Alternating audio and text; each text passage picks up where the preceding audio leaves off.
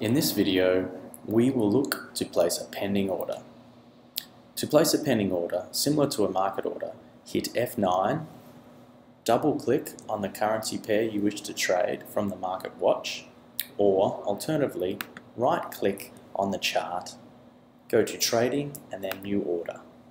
From there, confirm the currency pair you wish to trade is correct, in this instance, Australian dollar versus US dollar. Select the order type you wish to trade in the volume box. We will trade 0.20, two mini lots.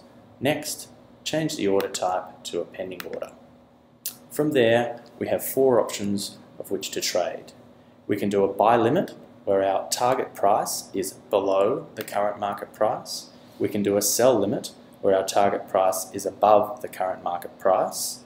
We can do a buy stop, where our target price is above the current market price, and a sell stop, where our target price is below the current market price. In this instance, we will do a sell limit. We will place the sell limit at 1.03.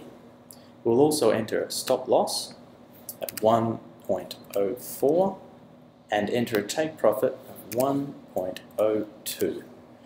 We can also place an expiry on this pending order for a time in the future, but in this instance we'll leave the expiry unlimited. Now we'll place the order. The order has been executed.